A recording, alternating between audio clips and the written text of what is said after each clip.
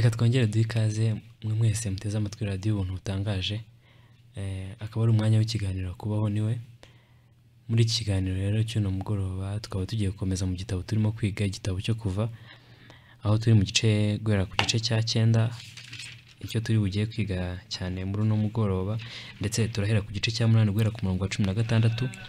Nkaba ntekereza ko ari ingenzi ko tubibwira mukaba muri kumwe na Ishimwe David. Ndetse na rekero Alex Alex wiriwe neza. David wiriwe ndetse tunisegura ku bantu kubwo gukererwa gakeya. Yego. Byatewe na gahunda zabaye ndende amakuru yakuye cyane ku buryo bibaye ngombwa yuko dutangira dukererewe. Icyo ngicyo ndizera ko bakihanganiye noneho reka noneho dukomeze n'icyigisho cyacu. Ni ingenzi ariko ko twibutsa abantu icyigisho twari twize nimugoroba. Alex hari abantu bamwe na bamwe twagiye tuganira wenda bambwira bati icyigisho twagikurikiye bamwe ati twumvisha ari ibintu bikomeye cyane ku buryo tutabashije kuvumbura ibyo ari byo abandi bati twumvisha ari byo ariko ntabwo twibazaga impamvu tutabyumvaga eh, biterwa n'impamvu zitandukanye. Ni ingenzi rero ko twibutsa abantu twaraye turebye ibyago bitatu ndetse ni bo sinzi impamvu abantu babyise ibyago bitatu. Abanditsi ba bibiliya bagiye babyita ibyago bitatu ubundi bakavuga ko hari ibyago bitatu n'ikimenyetso kimwe. Ikimenyetso ni ibyago. Ntabwo twe turi bubidetaye kuko byose ni ibimenyetso cyane. Kurenza uko ari ibyago ni ibimenyetso. Byombi byose ni ibimenyetso kandi byose ni ibitangaza. Mbese mu yandi magambo icyabaga cyose cyabaga cyerekana farawo iherezo ry'ubwoko yari afite. Yego. Abisiraheli. Ibyo twari tubonye no David bigaragara neza yuko ikintu twabonye ni uko hari icyago cyo kugira ngo nirihinduke amaraso hari icyago cyo kugira ngo ibikeri. haduke ibikeri. Ndetse n'inda. Ndetse n'inda. Reka duhere ku cya mbere ariko ikimenyetso cya mbere cyabaye Alex Mm. twibutse abantu. Mose yakoze igitangaza anaga inkoni hasi Mm. ihinduka inzoka Mm. abapfumu n'abakonikoni ba farawo nabo barabikora na zo zihinduka inzoka Mm. icyo kintu twakirebye ariko eh, reka twibutse abantu inkoni icya mbere ni ububasha munsi yakoresheje kugira ngo agaragaze imbaraga z'imana inkoni. Ku buryo turaza kubona inkoni ariyo yakoze ibitangaza byose Mm. ni ububasha munsi yakoresheje kugira ngo agaragaze imbaraga z'imana Mm. mu kimenyetso cya mbere kandi inkoni mwibuke ko ihera igihe munsi yari aragiye nk'igikoresho munsi yari yishingikirijeho mu kazi ke no mu busaza bwe Mm. igikoresho munsi yari yishingikirijeho ni igikoresho yakoresheje kugira ngo agaragaze ububasha bw'imana kandi ni igikoresho yari yishingikirijeho Mm. rero igihe yayijugunyaga hasi yahindutse inzoka. Twabirebye turimo turabyiga mu bice byabanje. Ikintu cyose twishingikirijeho icyo twishingikirijeho cyose kitari kirisito cyo ubwacyo ni, ni, ni, ni ikinyuranyo cya kirisito kandi ikinyuranyo cya kirisito nyine ni umushukanyi ari we shitani Mm. kimwe mu bintu twishingikirijeho rero ibindi byose bishamikiyeho ni uyu mubiri wacu. Ni kimwe. Ubundi ni cyo ngicyo. Noneho rero imana yakoresheje Mose kugira ngo ihishure uburyo icyo twishingikirijeho ari shitani mbese mu yandi magambo hirya y'inkoni nubwo yayibonaga akayibona nk'inkoni. Ariko yari shitani ariko imana yo iyo ibonye ibona hari ikindi kintu ishaka kwigarurira umwanya wayo. Yego. Mbese mu buryo umuntu ashobora kuba yakwimura imana akimika icyo ngicyo? Yego. Ariko david twibutse abantu yuko ntibivuze ngo kuko ari abantu benshi uvuga ngo noneho rero turetse ibingibi twari twishingikirijeho kugira ngo tubeshweho n'imana. Ibintu byose bigomba kugira umwanya wabyo. Wibuke ko Mose nawe yabwiwe kugira ngo ayifate iki? Umurizo. Ayifate umurizo. Mu yandi magambo ntabwo dukwiye kubyigizaho ngo tubijugunye kure ariko tugomba kumenya umwanya tugomba kubishyiramo. Yego. Rero hirya y'icyo kintu kimwe cyahishuwe na Mose abapfumu n'abakonikoni nabo bakoze ibindi byinshi bitandukanye. Ni ukuvuga ngo Mose yajugunye inkoni imwe hasi ihinduka inzoka abapfumu n'abakonikoni ba farawo nabo bajugunye inkoni nyinshi na zo zihinduka inzoka. Dore rero uburyo ibintu binyuranye. Abapfumu n'abakonikoni bakoze ikintu gisa n'icyo Mose yakoze. Ariko mu bwinshi mu gihe Mose yagikoze mu bumwe. Ubundi ihishurwa rya bibiliya ritwereka ko icyo twishingikirijeho kiduteje ikibazo ari umubiri w'icyaha. Ibindi byose biza ari aho byi- ibindi byose ni ho bishimikiye bishamikiye. Noneho abapfumu n'abakonikoni bo bo ntabwo berekana ko ikibazo ari umubiri ahubwo ibishamikiye ku mubiri ni byo berekana nk'ikibazo. Eh, mu yandi magambo niba umubiri wacu warigaruriwe no gukiranirwa ku buryo bwinshi butandukanye. Mm, abapfumu n'abakonikoni bo bagerageza kwerekana ko ikibazo ari utwo tuntu tw'ududetaye. Bakerekana ko ari ubusambanyi ko ari ubusinzi ko ari iki. Ibyo bakabyerekana nk'ibibazo. Mu gihe Mose werekana ko ikibazo ari ari kimwe. Noneho rero iyo duhishuriwe n'abapfumu n'abakonikoni nk'uko nabo babigenje ntabwo bituma tuva mu bata ngo twumve iby'umwana iby'urupfu rw'umwana w'imfura n'igitambo cya pasika mu yandi magambo. Iyo duhishuriwe ibyacu tutabihishuriwe n'umwuka w'imana nk'uko yabikoze anyuze muri mose. Ahubwo tukabihishurirwa tukabishurirwa n'ibindi bitari umwuka w'imana urugero nk'amayobokamana cyangwa se amadini cyangwa se twebwe ubwacu. Hari ukuntu twishurira tukereka ko ikibazo ari utu ari utwo tudetaye ibyaha nakijijwe gusambana nakijijwe gusinda nakijijwe gutukana ibyo byose iyo, twumva gukizwa nk'ibyo ngibyo turushaho kuba mu bubata kubera ko dutekereza ko gukizwa kwacu ari ugushyiramo imbaraga ngo tureke ibyo ngibyo. Ibyo rero bidukurura mu bubata iyishurwa rero ry'imana ry'uko ikibazo dufite ari umubiri ari wo twakijijwe paul akavuga ati mujye mwibona ko mwapfuye tumenye iki? Yuko umuntu wanyu wa kera yabambanywe nawe kugira ngo umubiri w'ibyaha ukurwe mwe gukomeza kuba imbata z'icyaha. Bibiri igaragaza ko ikibazo ari umubiri bityo n'igisubizo ni ugukurwaho k'umubiri mu gihe rero ihishurwa ry'abapfumu n'abakonikoni ryerekana ko ikibazo ari utwaha twinshi dutandukanye bityo n'igisubizo ari ugukurwaho twako iyo dutekereje ko ikibazo ari utwaha twinshi dutandukanye n'igisubizo ari ugukurwaho twako ko- k'utwo twaha dutandukanye turushaho gukomeza kuba mu bubata bwa shitani nubwo dutekereza ko turi mu mudendezo w'imana. Ariko imana ishimwe abakonikoni ubona yuko bari bazanye nk'ikintu cyatuma abantu bajijwa bari muri egiputa. Yego. Ku buryo wajijishirwa kuri iyo nzoka akaba ariyo witaho. Sinzi icyo ndimo kuvuga niba uri mu kucyumva david. Kugira ngo nkubwire ko nyumvishe dore ukuntu nguha. Eh, iyo iyo bundi ihishurwa ry'imana ritwereka ko ikibazo ari umubiri shitani igerageza kutujijisha itwereka ko ikibazo dufite ari- atari umubiri w'icyaha ahubwo ko ari ibyaha dukora. Nguko abapfumu n'abakonikoni bajijishaga bakora inzoka nyinshi nimba zitandukanye ari uko bari banazikoze ubwo bari bafite n'uburyo bagomba kugira gute kuba bazivanaho. Yego. Nimba babonye imbaraga zo kuba bazishyiraho. Zo kuba bazihimba. Yego. Ubwo ni imbaraga zo kuba bazi- bazikuraho nazo zari zihari. izo nazo ziba zihari. Yego. Iyo ndwara nayo bakayivuye. Ariko imana ishimwe ntabwo yatumye ibyo bintu biguma gutyo abantu baguma mu rujijo. Inzoka ya mose. Yamize izindi. Yamize izindi. Bigaragara yuko ikibazo imana ifitanye n'abantu ntabwo ari ikibazo cy'utwo tuntu twose. Ahubwo ni uburyo twabaye. umubiri. Kandi iki kibazo imana yaranabashije no kugikemura muri kirisito kuko utigeze kumenya icyaha. Imana yagize gute? Yamuhinduye icyaha. Ntabwo yamuhinduye ibyaha. Ah, ni icyaha. ngo umuntu wese ngo ngo nibonemo. Ikintu yabaye cyo im- i- icyo kirisito yabaye cyo kirenze cyane ibyo twakora. Mu yandi magambo david ibyo turi byo birenze cyane ibyo dukora. ibyo dukora. Mm. ku buryo washaka gukemura icyo kintu yajya guhera mu cyo tugira gute mu cyo dukora. Kandi icyo cyarakemutse. Noneho hirya y'ibyo rero hari ikintu no ngo nkubwire.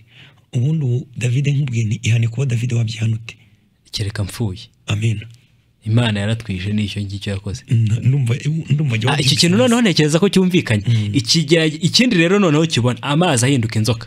Amazi ahinduka amaraso. Eh, ahinduka amaraso mu yandi magambo hari uburyo hariya muri cya gihugu cyo muri Egiputa hari uburyo amazi bayaha agaciro ayo mazi kandi ni amazi ya nili. Ni amazi ya nili. Yego. ku buryo ndetse nili hari n'uburyo yasengwaga. Noneho usanga muri Egiputa ubuzima bwaho bwari bushingiye kuri ayo mazi cyane. Ubuzima. Ubuzima Ubuzima. bufatiye kuko ibi Eh. turimo kwiga ni igishushanyo kigomba kuba ukuri kwacu kw'abisirayeli bo muri iyi minsi bo muri iki gihe. Noneho ku buryo usanga yuko imana yeretse abantu iti reka da muri mu kwibeshya cyane. Nubwo iyo amazi muri mu kuyiha agaciro gakomeye. Nubwo aya mazi muyabonamo ubuzima. Nubwo amazi muyabonamo ubuzima. Ariko yuzuwe n'urupfu. Ariko aya mazi burya hirya y'ibyo muri mu kureba ngenda yabonamo ahubwo nk'urupfu. Aya mazi mu yandi magambo uko murushaho kuyihuta uko murushaho kuyanywa mwibwira ngo arayakomeza kubazanira ubuzima. Ahubwo niko murushaho kwigira gute? Kwiyoboramo urupfu yego. Niko murushaho kwiyangiza. Mu yandi magambo imana noneho ibereka ukuri kw'amazi. Siko bimeze yego. Umukuri ikinyoma oya, oya reka tuvuge muri buno buryo. Ikinyoma cyo muri egiputa. Amaso yo muri egiputa. Iyo yabonaga amazi. Yayabonagamo ubuzima yabonagamo ubuzima ariko imana yo yabona ibintu byo muri egiputa. Ikabona ari urupfu. Ikabona ari urupfu. Mbese mu yandi magambo imana yari mu kubabwira iti ariko mwikomeza kuko n'abanyegiputa ntabwo imana ashaka kugira ngo n'ubu bagume hariya. Yego. Mwikomeza kwita kuri icyo ngicyo hari urutare nzabaha mu amazi y'ubugingo. Eh, cyane cyane yuko n'ubundi david hari ikintu hari ikintu umenya. Uzi yuko bino bintu ari ibintu abanye- abanyegiputa bari barikoreye? Ubundi ni ibintu bya irigasiyo bayobora amazi yabo. Yego. Ariko amazi y'urutare ntabwo ari ntabwo yari agomba gukorwa. Ntabwo yayoborwaga. Ntabwo yayoborwaga. Ntabwo ari ama- ntabwo ari karemano kuko usanga ni uburyo bikoreye kugira ngo bibonere ayo mazi ndetse bakungaza igihugu cyabo Ni- ni ibikorano by'abantu. Ariko amazi yo yahabwaga abisirayeli mu butayu ubwo twashinga bagira imbere ariko bagenzi bacu b'imbere bazabyigisha.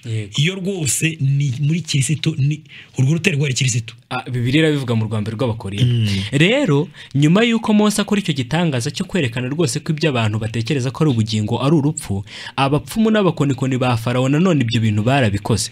Icya mbere.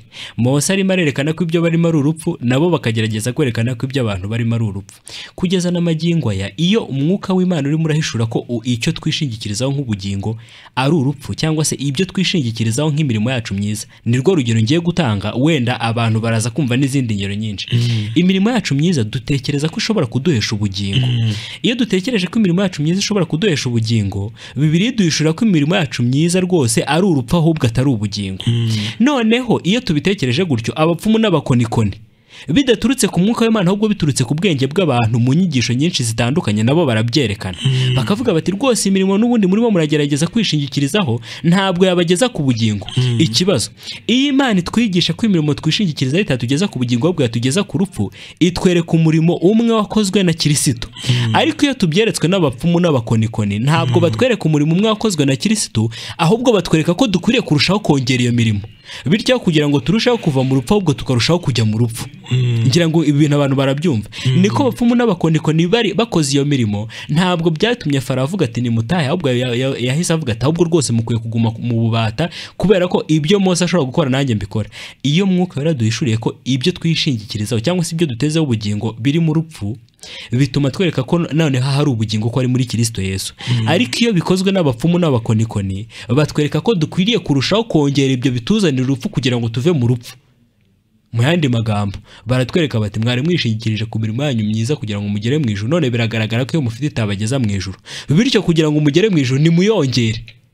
Aho urumva ibyo byatuzaniraga urupfu baratubwira ko tubyongera ahubwo tukarushaho rwose kujya mu rupfu. Kugira ngo ibyo bintu byumvikane neza Yego. bigaragara mu kimenyetso cya kabiri. Yego. igihugu cyuzura ibikeri. Yego. Bigaragara neza yuko mose yakubise inkoni hasi. Ibikeri biva mu mazi biraza. Yego. Siko bimeze kandi iyo dusubiye mu byahishuwe hari imyuka itatu imeze nk'ibikeri. Yego. Iva muri ya nyamaswa nta muhanuzi w'ibinyoma. Kandi nanone igi aha! Kandi nanone igikeri kikaza mu, mu, ma- mu nyamaswa mu tunyamaswa tuzira. Eh, ariko buriya david igikeri gifite n'ubundi buryo gishobora kubaho. Yego. Ni ibintu bishaka kugaragara ahantu hose. Buriya gishobora kuba mu mazi kikaba n'igasozi yego. Si icyo kintu niba utari mu kucyumva icyo ni cyo. Icyo ni icy'ukuri. Eh. ku buryo rero bigaragara neza yuko ibyari biri mu gukorwa. Kuba imana yarerekanye neza yuko n'ibikeri bishobora kuzamuka. Yego. N'abayekonikoni bo muri egiputa nabo bakongera bakarema ibindi bikeri. Yego. Ikibazo bari bafite ni ibikeri byinshi. Byari iki bya- kintu kivuge witonze kugira ngo cyumvikane ikibazo cyari gihari. Ni ibikeri byari byatejwe na ni mose ibikeri byari byatejwe na mose. Yego. Abakonikoni ikintu bagomba kuba baza bakora. Ntabwo byari ukubyongera ahubwo ni ukubigabanya. Mbese mu yandi magambo Yego. usibye kwirengagiza. Nubwo wenda hari uburyo abantu bumva yuko icyaha rwose cyarinjiye. Siko bimeze Yego. icyo umuntu akeneye ni uburyo yakongera kuvanwa hehe? Kuvanwa muri- mu- mu- muri ubwo burozi yarozwe. Twarugiye muri adamu. Ariko usanga inshuro nyinshi. Iyo twibwiye ngo tugiye kwerekana natwe ubuhanga bwacu bw'uburyo icyo kibazo cyakemuka. Ahubwo usanga tugeze gute? Ikibazo kirushaho kwiyongera. Ikibazo kirushaho kwiyongera. Abapfumu n'abakonikoni ntabwo baje bakuraho ikibazo nk'uko nk'uko mose yari yagihishuye Eh. ahubwo barushijeho kucyongera. Ngiyo rero ingorane abantu banagira. Usanga inshuro nyinshi abantu bashaka kugira ngo bitambike mu murimo w'imana. Yego. ariko kirimo kuvuga ntabwo n'ubu turimo kucyumvikana. Yego. ku buryo icyo imana itangiye gukora mu bugingo bw'abantu abantu nabo usanga batangiye kongera gutanga amanama. Yego. Mugenze gutya. Kugira ngo ikibazo imana ikemura n'abantu bagikemure. Bityo iyo bakemura ikibazo imana ikemura ahubwo bongera ikibazo. Iyo bakemura imana bo bafatirana mu mana kuko imana iyo yatangiye kwerekana ikibazo ukuntu kimeze. Yego.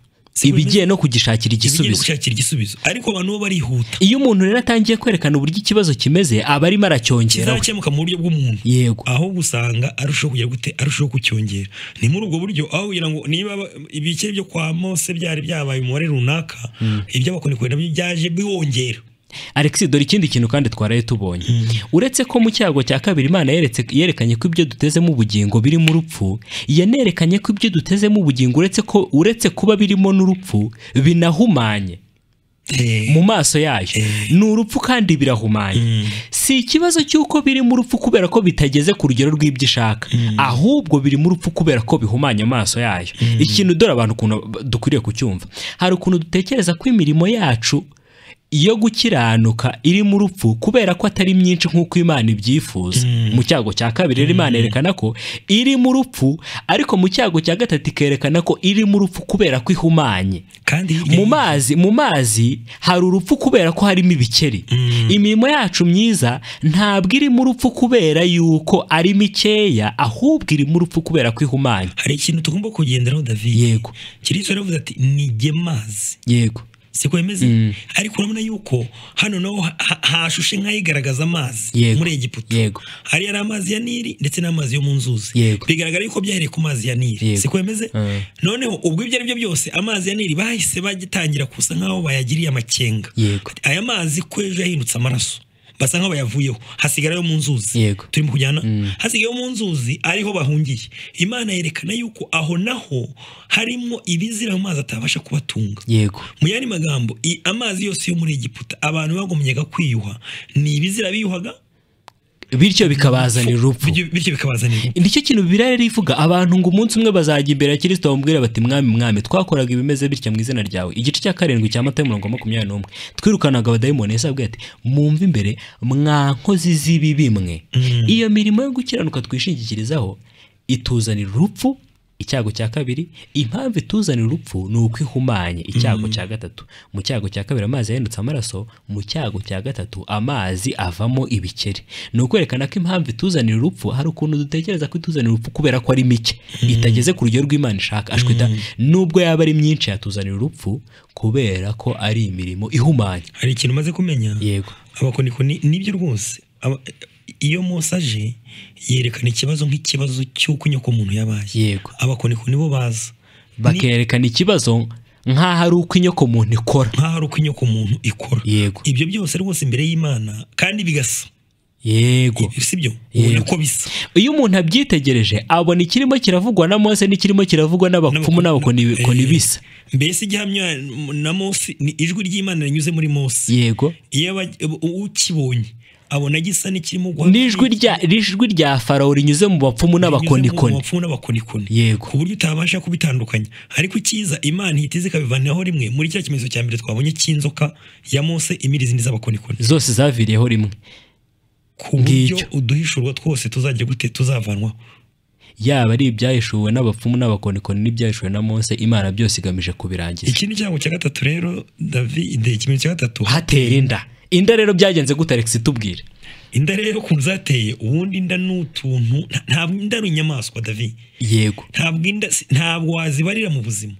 Inda ni ubuntu n'abantu benshi mu gihe cyashize kubera ubujiji twari dufite ubu tugeze mu iterambere nta ndumva nta hantu inda zapfa kuboneka. Ku buryo nabo tubwira abantu bo muri iyi generasiyo batapfa kuzumva. Yego. Ariko mu gihe cya kera u rwanda rugifite ubujiji hari ukuntu umuntu yambaraga imyenda ikazazamo inda. Itameswa. Kubera kutamizwa mu yandi magambo si ikibazo cy'uko hari akanyamaswa kaje kuyateramo ahubwo ni uburyo bigenda bihindagurika. Ni umukungugu umukungugu wo hasi niwo wi- wivuyemo izi nda. Yego. Mu yandi magambo imana irashaka kutwereka yuko uyu mubiri twiringiye. Umubiri. Nubwo tuwubona reka tubabwire impamvu abantu tuvuze ko ari umubiri. Mwibuke ko bibiri ikoresha umukungugu irimo iragaragaza umubiri ariko utarimo ubugingo bw'imana. Eh. icyo kintu abantu barimo barakibuka mu itangira imana ijya kure mu muntu yafashe umukungugu wo- wo- umukungugu wo hasi. Mbere y'uko iwuhumekeramo umwuka w'ubugingo icyo nyine ni cyo cyari umukungugu. Eh. iyo uhumekeye umwuka w'ubugingo uhinduka ubugingo buzima. Nanone adamu amaze gukora icyaha imana mu yandi magambo amaze kwitandukanya n'ubugingo bw'imana iramu- iramubwira iti uri umukungugu mu mukungugu ni ho uzasubira. Uri umukungugu. Umukungugu ubundi rero ni umubiri w'umuntu ariko utarimo ubugingo bw'imana. Wakomeza noneho tubwire noneho icyo ni mukubwira rero. Bigaragara neza yuko uburyo bwose twakoresha kugira ngo tugaragare imbere y'imana tubikesha. Iri remwa ryacu ryamaze kwangirika ry'umuradamu uyu mubiri wangijwe n'icyaha. wamaze kwangizwa n'icyaha. Yego. Ntabwo imana ishobora kubyemera. Ahubwo ahubwo ibi amambu yego. Imana igomba kuduhishurira ubu buryo twibitsemo udukoko tw'inda. Udukoko tw'inda duturutse ku mukungugu wuzuye umwanda cyangwa se iyo umukungugu wigaragaje wiyerekana nk'inda ubundi umukungugu si isuku ahubwo ni umwanda yego noneho rero ikintu twabonye yuko abapfumu n'abakonikoni bashobora kwerekana ibintu bikozwe n'umuntu ariko ntabwo bashobora kwerekana umuntu nk'ikibazo berekana ibikozwe n'umuntu ko ari ikibazo ariko ntibashobora kwerekana umuntu nk'ikibazo iyi mpamvu kandi ubona bino byago kugenda bikurikirana Yego. urabona yuko imana ifite umugambi wo kugira ngo yigizeho icyo kintu ku buryo n'abakonikoni nabo bumva ibintu nk'uko imana ibyumva. Yego. Noneho bigeze ahangaha abakonikoni byarabayobeye iki batanze ubuhamya baravuga ati iki cyo gikozwe n'ukuboko k'uwiteka ariko abantu abantu ni ingenzi ko bibaza kuko hari ukuntu abantu muri bagitekereza yuko ibi bintu rwose ari inkuru. Ni iby'ukuri koko Alex ibi bintu turimo turasoma. Uku turimo turabisoma uko bibiri bitubwira ni inkuru zabayeho. Ibi bintu byarabaye. Mose yarajugunye inkoni hasi inkoni ihinduka inzoka. Mose yagiye rwose arambura akubita inkoni ku mazi amazi rwose ahinduka amaraso. Byarabaye ariko nubwo byabaye ntabwo dukwiriye kubifata nk'inkuru. Ahubwo dukwiriye kubifata nk'ibimenyetso nk'uko nyine n'ubundi Imana yatangiye ibwira iti dore ngiye kugukoresha ibimenyetso n'ibitangaza imbere ya Mose. Noneho reka tubaze abantu hari bumve ko iki kintu atari ikimenyetso. Ni gute wakubita inkoni hasi hakaza ibikeri? Wayikubita hasi ngo ngo haze inda zo ntizize? Warangiza ukavuga ngo inda zo zizanywe n'Imana naho ibikeri byo ntibyazanywe n'Imana. Urumva ari igikeri n'in- n'inda ubundi gikomeye. Ubundi abantu bumva ikintu kiriho ubundi abantu bumva ikintu kiriho. Inda zo ziza zi- zihereye ku busa. Mm, ariko igikeri cyo ntigishobora kuza bihereye ku busa. Mm, ngira ngo ikintu abantu baracyumva. Eh, igikeri kira gikora iki buriya? Ni uguturaga ni ukubwagura ni ukugira bisa nk'aho igikeri gishobora hari ibintu gishobora kuba gitera nk'ibintu by'amagi yego. Eh, urumva ko igikeri cyo kibaho ha- hari ukuntu hari ukuntu formule yo kubaho kwakizwe ni ibintu bifatika. naho inda yo uburyo ibaho ishobora kubaho nta kintu gikozwe. Oya ubundi inda reka nkubwire david. Yego. sinzi ahubwo urakivuze mpita nyumva. Yego. Ntabwo indi ibaho ahubwo ni ukuvuga ngo hari ibintu bajya bavuga u- ibi- ibimera cyangwa se ibinyabuzima bibaho ariko bibeshejweho n'ibindi. Yego. Ndaguha nk'urugero nka biriya bintu bijya bifata ku rutare babyita isharanyemo. Yego. Cyangwa se ngira ngo n'urubobi. Ibyo bintu rero bibaho ariko byitiriwe ikindi kintu kiriho. Yego. Mu yandi magambo ntabwo inda yagombaga kubaho kuko n'ubundi yari iriho. Alex icyo kintu rero kugira ngo abantu bacyumve dore impa- dore impamvu yacyo. Ubundi biroroshye ko twakwemera byoroshye yuko kuko n'ubundi inda zituruka mu mukungugu nta kintu gikozwe. By- byakoroha ko twemere yuko inda zaturutse mu mukungugu nta gikozwe ariko ntabwo byakora ko twakwemera ko ibikeri byakuzura aha hantu hatabayeho guturaga. Eh, kuko ibikeri byo bibaho kubera ko habaye icyo gikorwa nyine cyo guturaga. Naho inda zo zibaho ziturutse mu mukungugu ariko nta gikozwe. Ariko ahangaha biramanyurane. Mm, biramanyurane ku buryo umukungu abantu bashobora gutuma ibikeri bibaho mu buryo bworoshye ariko ntibemere ko inda zabaho mu buryo bworoshye. Mu gihe ubusanzwe inda arizo zibaho mu buryo bworoshye ziturutse mu mukungugu. Noneho bakavuga ko inda zo zibaho biturutse ku mana kandi ubundi ubusanzwe inda zituruka mu mukungugu nta gikozwe. Ibi rero ni ibikwereka ko ari ikimenyetso. yego. genza- genza make yego. Hari ikintu umaze kumva muri kano kanya. Yego. Mbese mu yandi magambo biriya bimenyetso byose byakozwe. Imana yashakaga kwerekana ikibazo mwene muntu yagize. Yego. Siko bimeze? Mm. ikaduhishura. Hari abantu benshi bavuga ngo umurimo wo kwigisha abantu gukora ibyaha. Iyo nyigisho ako kazi ntawe wagafata. Kandi nawe ubwawe uzi ko nta muporofeseri wakwangaja kugira ngo umuhembere kugira ngo akwigishe gukora ibyaha. Ah, kuko ubizi kuko neza. nawe ubizi neza yuko ufite impamyabushobozi ndetse y'ikirenga ihanitse. Usibye wenda none icyo imana yakoze rero ni ukuduhishura mu bintu biduhishemo. Siko bimeze? Yego. Noneho abanyegiputa nabo bagashaka kwerekana yuko reka ahubwo ni umurimo ukorwa nk'uko babivugaga igikeri cyo kiboneka hari ikintu igikorwa runaka gikozwe. Yego. Siko bimeze? Mm. ariko indazo bigaragara yuko umuntu agize gute? Azifitemo. Yego. Azifitemo. Ziri mu mukungugu. Ziri mu mukungugu. Yego. nta gikorwa gisaba kugira ngo inda zigire gute? Inda zigaragare keretse ishurwa rya mwuka niryo ryakwereka ritese burya uburyo umubiri wanjye wuzuwe n'inda. Abapfumu n'abakonikoni bo bagerageje kwigana icyo kintu ubundi urasanga n'amagingo ya rwose. Ntabwo mu nyigisho z'amadini bashobora kwerekana umuntu nk'aho ari cyo kibazo ahubwo berekana ikibazo nk'ibyo umuntu akora. Icyo ndumva ku cyumvikana buryo rwose nabo bakwemerera ko ibyo badashobora kubyigisha. Kubera ko baramutse bigishije bati umuntu ni ikibazo ubwo baba bigishije ko umuntu agomba kwiyicarira. Ariko iyo berekanye yuko umuntu ikibazo ari ibyo bakora banigisha ko igisubizo ari ukureka ibyo bikorwa. Bityo umuntu akarushaho kuguma mu bubata by'iteka ryose. Ibyo rero ni byo nakubwiye n'ubundi bariya bakonikoni bo n'ubu wenda tubona bakora ibikeri. Ariko ntabwo ari buryo ari byo bakoraga. Ahubwo burya bajyaga guko ibikeri byazaga ari imana yerekanaga nk'ibintu ibintu byose bipfuye. Yego. None abanyegiputa bo bajya kwibwira ngo bagiye gukora icyiza nk'imirimo. Yego. Bakajya kwibona bakabona ikintu bagiye gukora. Cyongereye ibibi byari bisanzwe biriho. kigize cyongereye ibibi.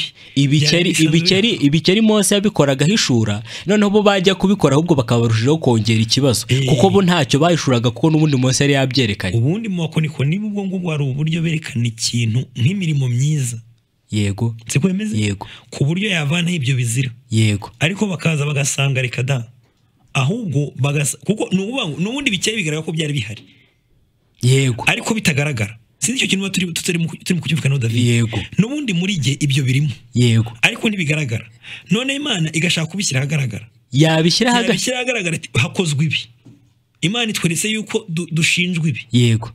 Ubundi imana iyo ivuga ibyacu ivuga ari ibyiza ari n'ibibi byacu. Ko biciro iteka imbere y'imana. Mm. ariko abakonikoni bo bakajya bagahita babyumvira mu ruhande kuvuga ngo oya ahubwo natwe twakwerekana ibyiza yego. byakorwa kugira ngo bibe byavanaho iki? Bigasanga byose imbere y'imana ahubwo birushaho gutubunwa no kugira gute? No ukuzira. gutubura umubare w'ibizira. Ah, icyo kintu ntekereza ko noneho tugisubiyemo ku buryo n'umuntu wenda wari wari utumvisha aho twari tuganije nimugoroba ibyo bintu yaba abyumvishe rwose kandi akabona ko ibyo bintu ari bibiri bihishura. Tugeze rero mu gice cya munani guhera ku gice ku murongo wa cumi na gatandatu icyago cya kane hatera ibibugu. Iki kintu ni ingenzi cyane ko abantu bacyumva. Ibibugu byo byateye reka wenda twasoma uwiteka abwira Mose ati uzazinduke kare mu ruturuturu uhagarare imbere ya farawo. Ubu nshakira rya somo ryo mu batesalonike. Mm. uhagarare imbere ya farawo. Azaba asohoka ajya ku ruzi umubwire umubwire uti uwiteka aravuze ati reka abantu banjye bagende bankorere nutabarekura nzaguteza amarumbo y'ibibugu wowe n'abagaragu bawe n'abantu bawe n'amazu yawe n'amazu y'abanyegiputa. Azuzura um- amarumbo y'ibibugu bizimagize n'ubutaka bwabo kuri kuri uwo munsi nzarobanura igihugu cy'i Gosheni n'ibindi bakomeza bavuga. Uwiteka bigenza atyo amarumbo y'ibihugu aza ari icyago mu nzu ya farawo no mu mazu y'abagaragu be kandi igihugu cya egiputa cyose cyononwa n'ayo marumbo y'ibihugu. Nsomera iryo somo noneho rero. Abatesalonike rero bahe. urwandiko rwa kabiri rw'abatesalonike. Yego. Igice cya kabiri umurongo wa cumi n'umwe. Nicyo gituma imana izabohereza ubushukanyi bukomeye cyane. Ngo bizere ibinyoma. Yego. Kugira ngo abatizeye iby'ukuri bose bakishimira gukiranirwa bacirwaho iteka ahari warekera aho ngaho. Mm. muri iryo somo imana irimo irerekana yuko abatishe abishimira gukiranirwa. Alexi ushobora kubanza ukatubwira icyo bibiri yita gukiranirwa icyo ari cyo? Abantu benshi rero mu myumvire abantu bafite iyo bavuze gukiranirwa. Yego. Bumva yuko ari ikibazo cyo gukora ibintu bibi. Ibyitwa bibi. Ibyitwa bibi. Ariko usanga ahubwo gukiranirwa usanga gukiranirwa yego. ari ukwishingikiriza ku kintu cyose kidakomoka mu mana. Yego. Ubundi ni cyo bita gukiranirwa gukiranirwa si igi- ko nimba gukiranuka nimba gukiranuka atari igikorwa yego. azitwa shami uwiteka gukiranuka kwacu ahubwo gukiranuka ni umuntu. Ubwo rero no gukiranirwa abantu be guhita babijyana kuvuga ngo ni ibikorwa biba byakozwe. Yego. Kugira ngo tubyumve neza dukeneye kumva gukiranuka uwiteka shami uwiteka gukiranuka kwacu urumva ni umuntu ubwo no gukiranirwa ntabwo bishingiye kuvuga ngo ni ibikorwa abantu bakoze ahubwo bishingiye kwishingiza ku kintu cyose Giturutse mu mubiri. Giturutse mu mubiri. Yego. Njye numva ari uko nguko twabisobanura rero muri iryo somo irimo irerekana abantu bishimira gukiranirwa.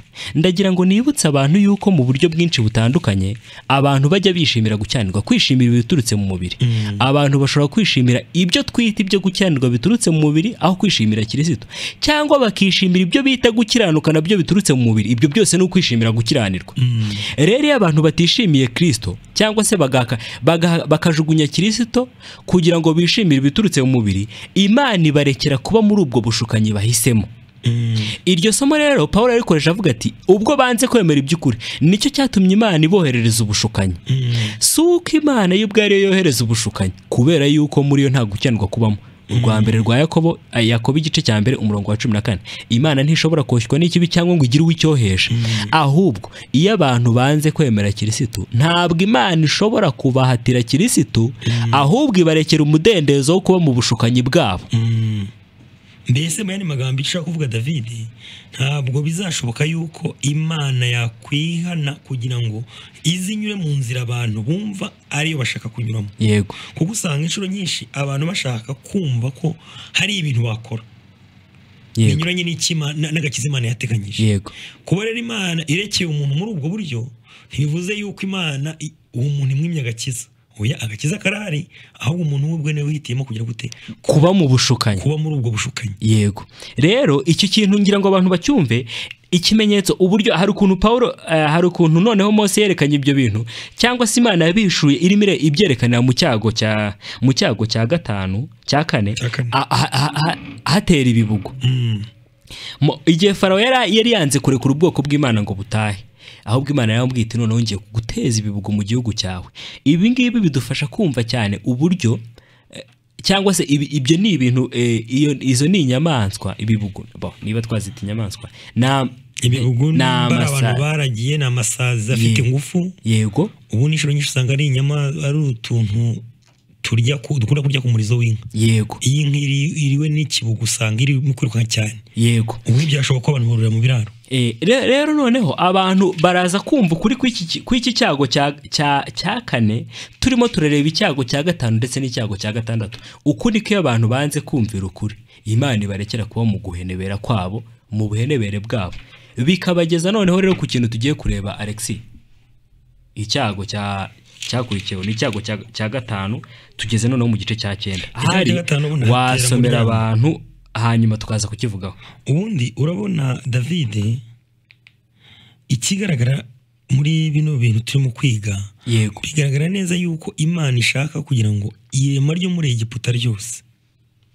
Mbese ikintu cyose cyo muri egiputa gifite ubuzima. Urabona ko cyakozweho yego. Mu yandi magambo ikintu cyose cyashoboraga waba ushobora kuba wabona muri egiputa ukabona wakibonamo ubuzima. Impamvu ni mu kuvuga ubuzima ni uko turi mu kwi- kwiga ishyanga rya isirayeli nk'ishyanga iri rifatika. Yego. Na egiputa nka egiputa ifatika. N'ibyo bakoraga rero ni ubuzima rwose. Noneho urabona ko ni ibintu byari biriho biri live. Ni ibintu byabayeho nk'ukuri. Ariko biba hari ibishushanyo. ni ibintu byabayeho nk'ukuri kuri bo ariko ku mana bifite ukundi kuri bisobanuye. Niyo mpamvu erega paul abigeraho mu rwa mbere rw'abakorinto ngira ngo akavuga ati ibyo byabereyeho kugira ngo bitubere akabarore twebwe abasore oya, ni n'imiruka ukuri ko muri egiputa? Ariko si ukuri kw'imana. Yego. Ku mana ni ikimenyetso ukuri kwabyo kuri inyuma y'ibi ngibi turimo kuvuga. Ari na byo turimo kugenda tunasobanura. Yego. Noneho hirya y'ibyo ubona yuko muryamo iyo yadutse yaduka mu matungo. Yego. Mu yandi magambo ubuzima bwo muri egiputa bwasaga nk'aho bugiye gusa nk'ubuhagaze. Kubera iyihe mpamvu? None se david amazi yakuweho. None n'amatungo ibyo kurya. Wibuke yuko muri kiriya gihe abantu ntabwo bari babujije kuba barya ba- batungwaga n'inyamaswa. Yego. Baraziryaga nta kibazo rwose. Kandi n'imirimo myinshi mu butayu uzikorwa n'iki? N'amatungo. Ikorwa n'amatungo. Ariko wabanza ugasomera abantu iri somo kugira ngo bumve ibyari bigiye gukorwaho ibyo ari byo. Uwiteka abwira ati injira mu nzu ya farawo umubwire uti uwiteka imana y'abayobora yaravuze ngo reka ubwoko bwe bugende bumukorere. Niwanga kuburekura ukagumya kubuf- kubufata. Dore ukuboko k'uwiteka kuri ku matungo yawe yo mu gasozi no ku mafarashi no ku ndogobe no ku ngamya no ku mashyo no ku mikumbi. Muryamo nyinshi cyane izabitera kandi uwiteka azarobanura hagati y'amatungo y'abisirayeli n'amatungo y'abanyegiputa. Ntihazapfa na rimwe mu y'abisirayeli yose. Uwiteka ategeka igihe ati ejo ni bwo uwiteka azakora ibyo mu gihugu. Bukeye bwa uwiteka arabikora amatungo yose y'abanyegiputa arapfa ariko mu matungo y'abisirayeli ntihapfa na rimwe. Farawo aratuma asanga mu matungo y'abisirayeli hatapfuye na rimwe maze umutima wa farawo uranangira. Ntiyareka ubwo bwoko bugenda. Alexi hari ibintu bibiri by'ingenzi nshaka ko abaduteze amatwi bumva.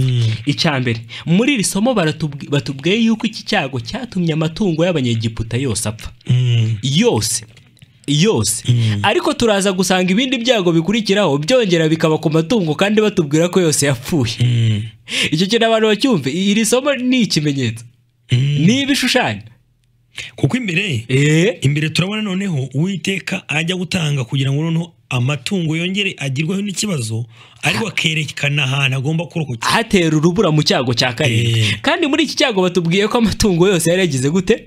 Yari yapfuye. abantu rero rwose banarushaho kumva ko ibi bintu bi- ari ibimenyetso kurenza ko ari ukuri kwabayeho. Aho kugira ngo bibe ari ukuri kurenza ko ari ibimenyetso hari ukuntu abantu bashobora kumva ari inkuru zabayeho kurenza uko byaba ari ibimenyetso. Ariko ahubwo ibiramambu byaba ari ibimenyetso kurenza uko byari ukuri. Nicyo gishoboka kurenza ibindi. Icyo kintu ni cyo kigira ngo abantu barimo baracyumva. Icya kabiri rero batubwira muri iri somo. Barimo baratubwira yuko inyamaswa n'amatungo byari bigiye gukorwaho. Ari amashyo yose ariko bakanongeraho izi eh, andi matungo abiri. Ingamiya n'amafarashi. n'amafarashi. amatungo y'imirimo. Yego. Ubwo turi ku murongo umurongo wa gatandatu. Bavuzemo ingamiya amafarashi ndetse n'indogobe. Mm. ibyo byo bikoreshwa muri mu byo- twakwita taransiporo ni na eh, mbese mu mirimo ni byo byabafashaga mu mirimo? Mu mirimo ariko yo kugenda no gutwara ibintu. Ah, ni ubwikorezi n'ingendo Mm. ngibyo. Noneho ibindi byo bigakoreshwa mu kuribwa nk'inka Mm. ndetse n'ihene n'intama amashyo n'imikumbi ibyo byakoreshwaga mu kuribwa ibindi bigakoreshwa muri taransiporo noneho rero urabona ko icyago cya gatanu cya kane gikurikiranye n'icyago cya gatanu. Iyo ubushuka iyo abantu bamaze kwanga kwizera bamaze kwanga kwizera kirisito ahubwo bakibera mu bushukanyi. Biragaragara ko igikurikiraho ari uko e, icyo twakwita taransiporo muvuma yabo bon. Abantu batwihanganira kuba dukoresha amagambo cyane atari ngo turakoresha imirimo yabo? Yego. Bigaragara n'imirire yabo. N'imirire yabo. bigaragara ko birapfa. Kubera yuko ibyo bintu birimo ubushukanyi Mm. Imirimo n'imirire byose byapfuye. Mu yandi magambo ahari umurimo muzima ni muri kirisito yesu. N'ibiryo bizima ni kirisito none umuntu yanze kirisito arimo ararya ibindi bintu byaba bigaragara ko ari byiza. Mbese mu yandi magambo yego. biragoye cyane gusobanura bino bintu ko turimo kuvuga yuko iki ni ikimenyetso. Ni ikimenyetso. ariko ni ukuri ko muri Egiputa. Ni ibintu byabayeho nk'ukuri ariko ari igishushanyo. Ku Mana ari ikintu urimo kwerekana. Yego. nubwo wenda tubona nk'ibyo bintu bisa nkaho bipfuye mu yandi magambo imana irashaka kwerekana yuko banywaga ibintu bipfuye. Siko bimeze? Yego. Binagaragara yuko ni- ni- n'ibyabahaga ubuzima n'umunezero by'ibiguruka mu kirere. Yego. byashe nk'ibahindukira ikindi kibazo. Yego. Bibahindukiramo ibibugu Mm. noneho ubonye yuko n'ibyo kurya byabo n'imirimo yabo kubera iyi mpamvu david ubundi umurimo umuntu akora awuvana mu byo aba yariye. Yego. Siko bimeze Mm. mu yandi magambo rero nimba twariye ni- nimba nta kurya kwabayeho nta n'umurimo uhari. N'imirimo isa nkaho yapfuye. Alex ngira ngo icyo kintu noneho abantu barimo baracyumva. Iyo bibiliya ivuga ivuga ivuga yuko imirimo myiza ari muri kirisito yesu atari ukugira ngo tuyikore ahubwo ari ukugira ngo tuyigenderemo. Burya guko igice imana yaturemeye imirimo myiza muri igice cya kabiri umurongo wa cumi. kugira ngo tuyigenderemo. Yego. Imirimo myiza ni muri ni muri kirisito yesu kandi ntabwo tuyikora. Nta nubwo tuyigana ahubwo tuyigenderamo. Mm. Imirimo myiza ni muri kirisito yesu. Yesu kirisito kandi ni we byo kurya byacu. Niwe mutsima kandi umutsima w'ubugingo. Noneho rero mu gice cya kane mu cyago cya ka- cya kane twabonye abantu banga ukuri bakohererezwa ubushukanyi. Mu yandi magambo twabonye abantu banga kirisito imana ibarekera kwibera mu bindi bitari kirisito byaba ari inyigisho z'iyobokamana cyangwa ibyo gukiranirwa Mm. cyangwa ibyo gukiranuka na byo ibyo bita kwihangira ibyo bita gukiranuka. gukiranuka iyo rero umuntu yanze gukiranuka kwa kirisito ahubwo akaba mu bindi bitari kirisito icyago cya gatanu kiza cyerekana ko niba hariho ibintu bitari kirisito ibyo si ibyo kurya nyakuri cyangwa se ibyo byo kurya ni ibyo kurya biri mu rupfu nk'uko iki cyago cyerekana yuko muryamo yageze muri izo nyamaswa zigapfa iz'ibyo kurya ndetse n'iz'imirimo. Mu yandi magambo yaba ibyo kurya yaba ibyo kurya tuba turya iyo bita iyo atari ibyo kurya kirisito n'imirimo tuba dukora iyo atari imirimo kirisito turimo turagendamo ahubwo ari imirimo yacu. Yaba iyo twita imyiza cyangwa imibi ibyo byose biba byagezwemo na muryamo ku buryo ari urupfu gusa. Aho na david kwiye Yego. gusobanuke neza reka tutinjira ku cyago cya gatandatu turahita tubona icyabaye. Iyo umuntu yahise arya nabi yego. bihita bimugaragariza ku mubiri we. Ibi rero iyo tubivuze rero hari ukuntu usanga iby'umwuka byacu dushaka ubundi twebwe hari umwanditsi umwe wavuze ikintu yaravuze ngo mose yari igishushanyo. Urumva? Noneho uwitwa paul aba ukuri kwabyo. Noneho twebwe twebwe ubu. Yego. Turi experience. Turavuga ngo iki? Mbese turi ubunararibonye ubunararibonye bw'ibyo noneho bintu turi byo. Yego. Urumva? Ni ukuvuga ngo ubu iyi ni tuvuga ngo umubiri wabo urabona bariye nabi. Siko bimeze yego. Bariye ibintu bipfuye. Mu yandi magambo imana imukwerekana nk'aho bariye ibintu bipfuye. Umubiri wabo uwo mwanya uhise bikamuramo ibisebe. Ariko imana yabikoresheje ikimenyetso Eh, iravuga eh. iti ikimenyetso umuro tugeze mu gice cya cyenda ku badukurikira umurongo wa cyenda. Uwiteka abwira mose na aroni ati nimujyane amashyi y'ivu ryo mu itanura. Mose aritumurire hejuru imbere ya farawo. Rirahinduka umukungugu w'ifu ukwire mu gihugu cya egiputa cyose uhereye utere ibishyute bivamo ibi, ibi, ibishega ibishega bifate abantu n'amatungo mu gihugu cya egiputa cyose bajya, bajyana ivu ryo mu itanura bahagarara imbere ya farawo. Mose aritumurira hejuru riba ibishyute bivamo ibishega bifata abantu n'amatungo. Ba bakonikoni bananizwa n'ibyo bishega guhagarara imbere ya mose kuko ibishega byari bifashe abo bakonikoni n'abanyegiputa bose. Uwiteka anangira umutima wa farawo. Ntiyumvira mose na aroni uko uwiteka yari yarabwiye mose. Ikintu turimo kubona hano david Yego. urabona yuko imana yatangiye iri mu gukora n'ibintu biri hirya y'abanyegiputa. Yego. Ni ibizengurutse abanyegiputa ariko si bo ubwabo. Yego. None nabo ubwabo batangiye kugaragaraho n'ikibazo. Ku mubiri wabo ku wo mubiri wabo. ubwawo kugeza ubwo n'abakonikoni noneho. Nabo ubwabo batabasha guhagarara imbere y'icyo kintu kuko nabo bari bagezweho. Yego. David rero Oya, n'abakonikoni n'abakonikoni Eh, bagezweho eh. ngiki kibazo rero hano kiri yego. Ubundi usanga iyo ubutumwa bwiza buvuzwe nta muntu usigara. Abantu bose bibona nta nta mukuru. Nta muto. Nta mutoya yego. Abantu bose bibona mu gatebo kamwe Yego. ku buryo ubwo burwayi bahita bagira gute bahita babwibonaho. Rero aba abapfumu n'abakonikoni nibo bahagararaga imbere ya mose mu cyimbo cy'abafarisayo. Ma mu cyimbo cy'aba- cy'abanyegiputa bose. Ariko iki cyago kibagezeho nta n'umwe wabashije guhagarara.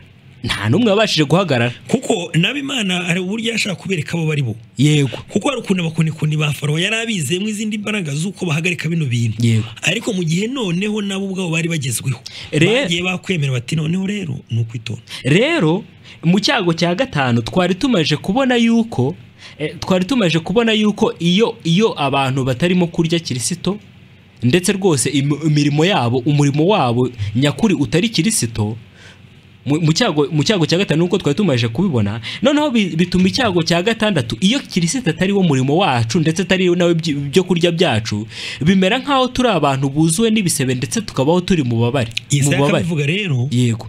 Ngo uhereye mu bworo bw'ikirenge. Ukagera mu gitwariro? Ni ibisebe gusa bitigeze no gukandwa. Ndetse binuka. Ndetse binuka. Nguko uko tuba tubayeho iyo kirisita atari we byo kurya byacu ndetse atari we murimo wacu Mm. iyo kirisita atari ibyo kurya byacu n'umurimo wacu tubaho mu bubabare turi abantu buzuye ibisebe ndetse ibisebe binuka bitigeze gukandwa.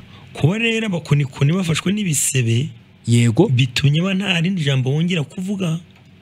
Nta kindi gikorwa bashobora gukora. Nta kindi gikorwa bashobora gukora imbere ya mose yego. kubera yuko bigaragaye yuko nabo burya batibashije. Yego. Bigaragaye yuko nabo burya bafite uburwayi. Yego. Hari ukuntu abo muri egiputa babizeraga nk'abantu bashobora kurangiza ibyo ngibyo. Yego. Ariko noneho birangiye ahubwo nabo nta kintu. yuko Eh. nabo bari mu kibazo. Yego. Ibintu bibiliya igenda rwose ibishura igenda ibishura inshuro nyinshi. Ukoresheje wenda inzandiko tubona mu isezerano rishya yohana cyane cyane ndetse n'urwandiko rw- rw- rw'ibyakozwe n'intumwa. Mu byakozwe n'intumwa twabo tubona ikintu gikomeye cyane. Ubundi dore ibintu ukuntu byari biteye. Mbere y'uko kirisito aza abayuda bavugaga ko bigisha ubutumwa bwiza bwa yesu kirisito Mm. noneho kirisita amaze kuza batangira kuvuga yuko uwo bigishaga rwose yahageze ariko bakaba bafite ikibazo cy'uko hari ukuntu ashobora kuba arimo aritwara nabi. Mm. bakaba bafite ikibazo cy'uko yahinyuraga amategeko y'imana. Mbese erekana noneho ugisubire mu bya kera twari turimo. Yego. Ibyo uzanye bigaragara yuko ibyago bi- ibimenyetso bi- biri mu gukorwa. Hari uburyo byagaragaraga nk'aho bijya gusa. Yego. Mose yakora ikintu abakonikoni bakagikora. Bati turi kumwe. Yego. Mose yakora yakora yakora amaraso bati ngaya natwe. Ibikeri byaza biti ngibi natwe. Ariko bigezeho bitangiye kugaragara yuko hatangiye kuboneka itandukaniro. Yego. Ndetse itandukaniro rikabije ahubwo ku buryo ari ibintu bihanganye. Yego. Noneho rero twari tumaze kubona yuko igihe kirisito yazaga batangiye ubwo bavugaga mbere bavugaga ko barimo baravuga kirisito uzaza aje bavuga ko uwo babonye afite ikibazo cy'ingenzi cy'uko arimo arigisha guhinyura amategeko ya mose. Amaze gusubira mu ijuru bisubiraho. Bati nta nubwo ikibazo twari dufite ari uko yigishaga guhinyura amategeko ya mose ahubwo ni we kibazo twari dufite. We ubwe ni cyo kibazo. Baravuga bati umuntu uzongera kuvuga ko wa mugabo yazutse ndetse akabwiriza mu izina ry'uwo uwo wese ntakabure kwicwa. Ibi bintu rwose eh, birimo biragaragara yuko ari ibintu byagiye bikurikirana.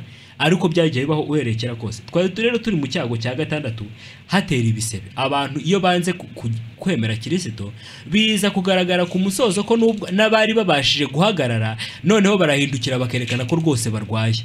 Aberekanaga rwose yuko barimo baravuga kirisito noneho bigaragaye barimo baravuga bati nta nubwo tumwemera ndetse nta nubwo dushaka kongera kuvuga yuko uwo muntu yazutse. Icyo ni icyago cya gatandatu. Tugeze mu cyago cya karindwi rero turimo turanihuta kugira ngo tugane ku musozo cyangwa se tuze no kubona umwanya wo kwakira abantu. Icyago cya karindwi rero david bigaragara neza ko hateye urubura. Urubura ni ni ibintu bimeze nk'amahindu. Yego. Bimanuka bivuye mu kirere. Ni imvura ariko atari imvura nziza ahubwo ari imvura ije gu- ije guteza ikibazo. Mbese reka nkubwire byaba ingorane cyane umuntu wari wishwe n'amapfa hagahita hagwa urubura. Kuko n'ibyari biriho byose urubura ruza rusa nk'ubivana rubyica nk'uko tubona muri iki cyago. ntabwo urubura rukenewe. Alexi dore ikintu gitangaje. Uru rubura ntabwo rwaguye rwonyine. Abantu baraza kubyisomera kubera ko umwanya wagiye Rwagwanye guhera ku murongo wa cumi na gatatu. Urubura ngo rwagwanaga n'umuriro ubundi ntabwo byumvikana. Ntabwo byumvikana uburyo amazi yahura n'umuriro byombi bikagumaho ubundi numva kimwe gikemura ikindi. Ubundi burya abahanga bavuga yuko iyo utangiye kuzimisha umuriro amazi burya kiba ari ikibazo. Rero dore ibintu ukuntu byagenze. Mm. iki cyago kigiye gutera imana yabwiye abanyegiputa igiye kugiteza iti kugira ngo muze kurokoka ndasaba buri muntu wese ufite amatungo mu gasozi ndetse n'abantu mu gasozi ko abacyura abicyura abantu bakajya mu mazu ndetse n'amatungo akajya mu kiraro. Ubwo ni ukuvuga ngo hari uruhande icyo twakwita umudugudu w'ubu- w'ubuhungiro. Imana igiye guteza ibyago abanyegiputa ariko ibashyireho umudugudu baza guhungiramo. Iravuga iti ibyago bigiye kuza ariko muhungire mu biraro no mu mazu yanyu. Abaza gusigara rero mu gasozi n'amatungo aza gusigara mu gasozi araza kugubwaho n'ibintu bibiri by'ingenzi. Icya mbere ni urubura icya kabiri ni umuriro. Ibi bintu rero bifite ikintu bishushanya na bugingo n'ubu ubundi imana yaduhaye agakiza muri kirisito yesu. Kandi rwose ishaka ko twugama muri ako gakiza tutishingikirije ku mirimo yacu ahubwo tukakirije kwizera cyangwa se kwemera iby'ubuntu bw'imana. Iyo rero abantu banze kwakira kirisito bamwakiriye nk'ubuntu imana yatanze ahubwo bakishimira kuba mu rundi ruhande rutari urwa kirisito reka maze no gusobanura urwo ruhande urimo kuvuga. Yego. Dushingiye kuko hateye urubura n'umuriro. Yego. Mu yandi magambo hari icyo twakwita umuriro. Umuriro davi ku buryo abantu iyo bawucanye bagira ngo ni ugukiranuka nu- mbese bagira ngo rwose ni ugukiranuka kwa kirisito nk'uriya muriro w'imana. Umuriro wa kirisito nk'u- nk'u- nk'umuriro ukongora. Ukongora ibyaha. Mm. noneho ku buryo bawucanye abantu bibwira yuko rwose bageze mu mwanya imana ibashakira. Ariko ntabwo uwo muriro uwo muriro rero turimo kuvuga. ntabwo waguye ngo uze kugwa ahandi hantu keretse ahatari aho imana yateganyirije umudugudu w'ubuhungiro. ku buryo rero abantu barushaho kuwucana cyane kugira ngo ugire n'imbaraga. Kugira ngo bumve hari erega satani wazamanura Azama- azakora ibimenyetso ndetse rwose azamanura n'umuriro uvuye mu ijoro. Azamanura n'umuriro uvuye mu ijoro. Noneho ku buryo iyo noneho hirya uwo muriro urushaho gucana. Yego. Ku rundi ruhande hari abandi bantu baba bari mu kintu kuko kugira ngo biriya bintu biboneke biriya bintu biriya bintu bya twavuze by'ama by'amahindu cyangwa urubura. Bitewe n'ubukonje cyane buba bu- buba bu- buba bufatika. Yego. Bikunda kuboneka mu bintu mu mpera z'isi muri za polino na poliside noneho ku buryo hazaboneka n'irindi tsinda riri mu bukonje cyane. Hari umuriro mwinshi? Ucanwe no kwihangira gukiranuka? Hari n'ubukonje bwinshi? Bushinzwe kugira ngo bukore ibyaha ku buryo abantu bakwibwira ko ibyaha bisigaye bikorwa biva hehe? Ariko ibyo byose biba bi- bi- bigwa bigwa ahantu hatari aho imana yateganyirije ubuhungiro. Mbese mu yandi magambo abatari muri kiriso yesu ibyo ni byo bibagwaho.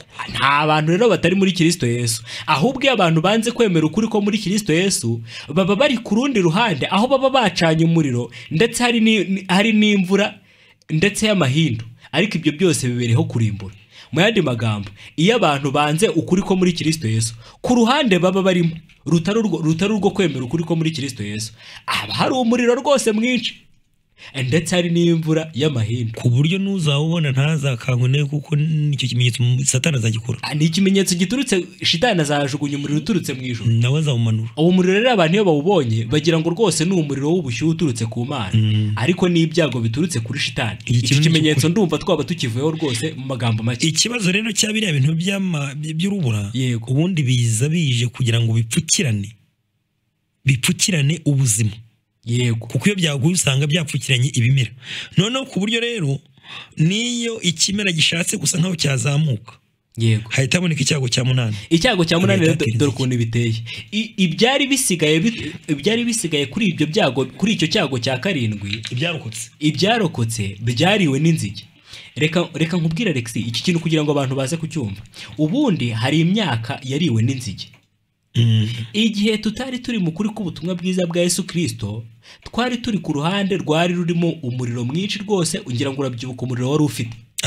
Kandi wari uwufite Eh, iki- ukomeye cyane. Kandi noneho utarari utarari mu muriro nawe yari ari mu bukonje. Ni uko bimeze nk'ubw'urubura Ku bu- Ah, reka nkubwire.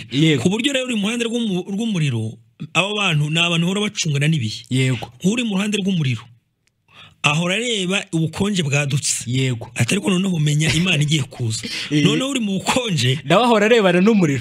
Ati ndapfuye karabaye. Ndapfuye karabaye. Eh. ku buryo abo bantu bose usanga ari abantu badafite ibyiringiro kandi kuko ntabwo ari mu buhungiro. Rero dore ibintu ukuntu biteye. Ubundi hirya ya kirisito hirya yo, mu butumwa bwiza yaba ari mu muriro yaba ari mu bukonje. Ibyasigaye ibyo bintu mu yandi magambo bya- byabayeho bitewe n'umuriro ndetse n'ubukonje. Eh. icyago cya cyenda. Ibyo byose ni imyaka yariwe n'inzige. Alex reka nkubwire. Imyaka twamaze mu muriro n'ubukonje rwose ni yariwe n'inzige. Ni imyaka yariwe n'inzige. Hirya y'ibyo. Yapfuye ubusa. Reka nkubwire David. Eh. hirya y'ibyo. Kuko ndabona kandi uzi ko hari akantu tujya turokora. Eh. ko dukunda kuganira noneho ndabona hari akantu karokotse. Karokotse umuriro n'urubura. Yego. Iyo kageze hirya inzige zihita zizamuka. Yego. Imana irashaka kugira ngo n'ibyo n'ako kantu kandi kavanweho ntihagire akandi kantu gasigara. Yego. ku buryo noneho biragaragara neza yuko ubuzima bwo muri egiputa bishushe nk'aho bukuweho. Yego. Hagahita yirema nubwo wenda tubona ngo imana ngo ngo itayize ikindi cyago cy'umwijima ariko David ntabwo none se ahantu nta byo kurya nta kimera. Ibiguruka byabi byabihindutse byahindutse ibibugu. Turiya dusimba turyana. Aho hantu urumva hasigaye iki kintu? Nta kintu cyari gisigaye. Icyago cya cumi ni umwijima w'icuraburindi. Umwijima w'icuraburindi. reka nkubwire. Mm. hirya ya kirisito hirya hirya y'ubutumwa bwiza bwa kirisito Mm. nubwo haba hari hirya y'ubutumwa bwiza bwa kirisito aho uri mu cyago cya gatandatu. Kuko abantu bareba icyago cya eh, icyago cya karindwi ukuntu giteye ni icyago biriya yavuze mu buryo burebure cyane. Imana yabanje gutegeka ngo abantu ba farayo irababwira iti muze guhungishiriza ibyanyu byose mu biraro ndetse no mu mazu. Aho ni umudugudu w'ubuhungiro imana yari ibaciriye. Nabo kwa faro kandi nabo barabibwirwa Eh, ni abo kwa farawo. Ikitazaba kiri mu kiraro cyangwa mu nzu hirya yacyo hazaba hari ibintu bibiri birimo kwangiza ibisigaye. Hazaba hari umuriro mwinshi ndetse hari n'urubura rwinshi. Noneho rero iyo, tutari mu kuri k'ubutumwa bwiza cyangwa se uwo mudugudu w'ubungira imana yaduteganyirije tuba dufite umuriro mwinshi koko cyangwa dufite ubukonje bwinshi. Ibyo byombi biba biri kumwe. Bamwe bari mu bukonje abandi bari mu muriro. Ariko byose biba ari urupfu biba ari ukwangiza. Ndetse icyo gihe cyose cy'umuriro icyo gihe kirimo umuriro ndetse kikaba kirimo n'urubura rwinshi. Icyo gihe icyago cya cyenda cyerekana ko ugusaguka cyangwa se ukuremwa. Ukuremwa ibiremwa biturutse ku kwangirika ku kwangizwa gutewe n'umuriro ndetse n'urubura. Icyo ibyo bintu biturutse aho ngaho ni imyaka igomba kuribwa n'inzige cyangwa se ni igihe cyangirika. Ni, imyaka yariwe n'inzige mu magambo make ngira ngo abantu barimo baracyumva. Kandi iyo umuntu ari muri ubwo buzima aba ari mu mwijima w'icuraburindi. Hirya ya kirisito rero hari urupfu.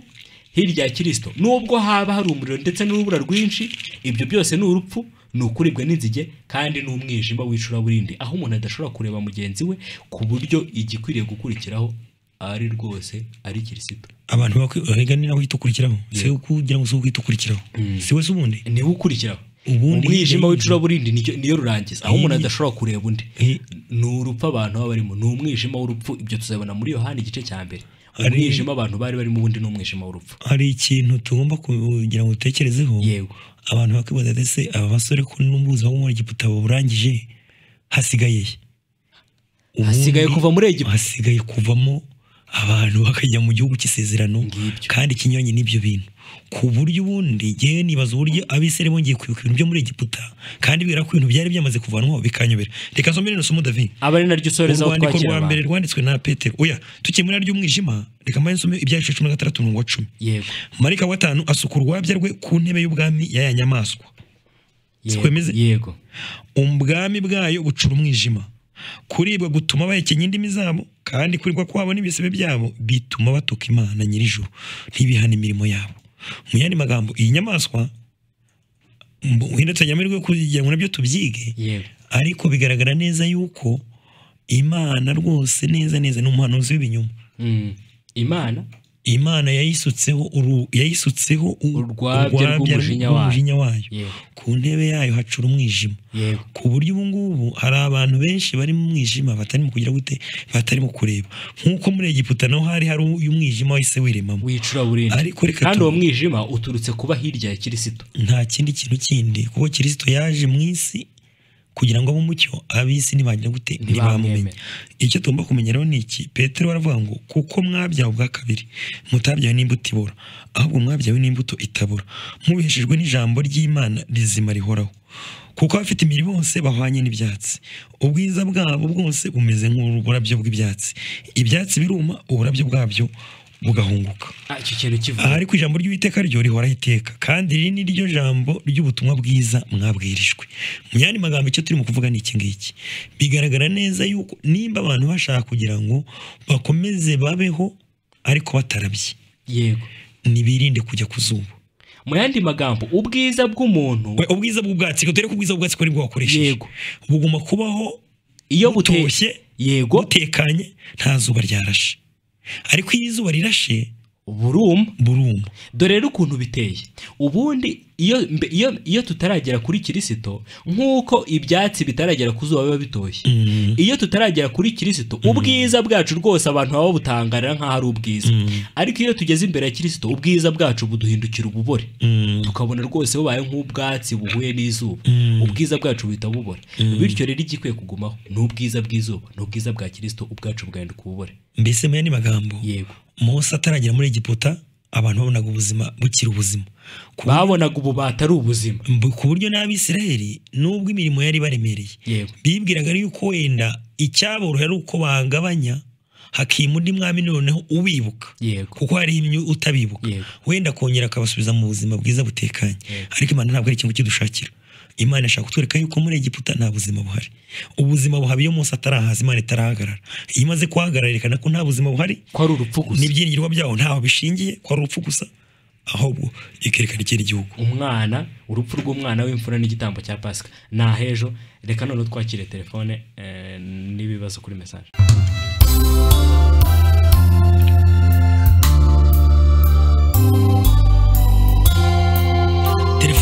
telefone makumyabiri na gatanu makumyabiri na gatanu irindwi n'umunani magana atatu mirongo itatu n'umunani.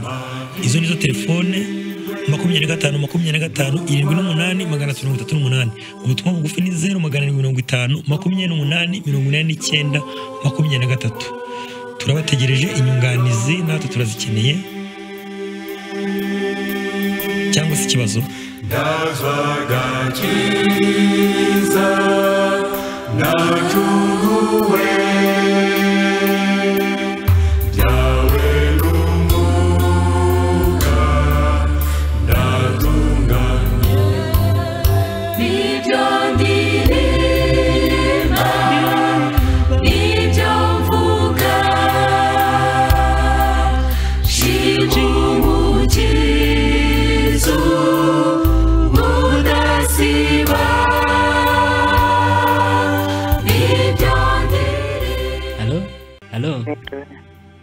mwiriwe mwiriweho hari ikintu mwakoze tudasobanukiweho neza alo nda- turabumva urabona ko iyo icyago cyarangiraga farawo yabwiraga mose yuko ubwoko bw'abisiraheli agiye yego agiye kuburekura yego tukibaza kuki ataburekuraga ahubwo agategereza ikindi cyago ese ko ibi bintu ni bishya rwose kuri twebwe. Eh, sawa ibihe byiza. Ibihe byiza Eh, David umuntu ari ikibazo abajije. Cyiza cyane. Kinyibutsa ahubwo ikintu dushobora kuba tutasomye. Urabona hari aho farawo yemeye gusa nk'aho Abarekuye. ati nimugende. Ariko ntimujye kure. Ariko ntimujye kure. Cyangwa se akavuga ati nimugende ariko ntimugende mwese. Eh. Ahubwo mujyane abakuru. Ndagira ngo tubwire abantu yuko kubaturwa kw'abisirayeli ntabwo gushingiye mu gikorwa farawo yagombaga gukora. Ngicyo ngicyo ngicyo. Nta nubwo bushingiye kuba farawo kuko ubwo byaba bifatanye yuko ni imana yakoranye na farawo. Bimeze kwa ye. kundi byo guhana hari ukuntu abantu bajya bajya barwana ku ntambara bakagira imishyirano yo guhana imfungwa. Siko byagenze. Kubatura kw'abisirayeli kushingiye mu kumenya imana mu- kuba imana ari ndiho ikindi kandi noneho nk'uko twabibonye ibi byabaye inkuru yabayeho ariko bikaba n'igishushanyo. Ni muri ubwo buryo tubona nk'ibiteye ubwoba byatumaga farawo ashaka kwemera ariko kubera ko byari igishushanyo farawo ntiyashoboraga kwemera. Ngira ngo n'umuvandimwe aribuka ikintu twatangiyeho ko imana yari yavuze ko izanangira umutima wa farawo ku buryo abisirayeli batazataha icyago cya cumi kitabayeho. Dore impamvu rero nk'uko twabivuze ubushize ntabwo abisirayeli bagombaga gutaha kubera inyigisho. Ngira ngo ibi bimenyetso byose byabaye byari ibyigisho byigisha abisirayeli ndetse n'abanyegiputa. Ariko ntabwo tugomba gukizwa bitewe n'ibyigisho twiga ahubwo tugomba tugomba kumva ko gakiza kacu gashingiye mu cyago cya cumi cyangwa se urupfu rw'umwana w'imfura n'igitambo cya pasika. Ibindi byo ni ibishushanyo. Ngira ngo iki kintu no muvandimwe David hari ikintu tugomba gusoma cy'umurongo igice cya munani umurongo wa makumyabiri n'umunani. Yego. Hari ukuntu farawo asa nk'urekuye ubwoko bw'abisirayeli Yego. iki ni ikintu tugomba gutekerezaho. Mm. hari ukuntu farawo hari uburyo abantu babaho bagasa nk'aho satani abarekuye yego. bagasa nk'aho bagiye gukora ibyo bintu imana yasa nk'aho ibasaba. Ariko mu kuri si byo yego. ikintu mose yanze ugasanga twe turacyemera sinzi icyo iki nimubona kintu mutacyumva iki kintu ngira ngo abantu ba- ba- ba- banarushaho kucyumva. Kumva dusa nk'aho turi hafi y'imana ariko kandi turi no muri egiputa. Yego.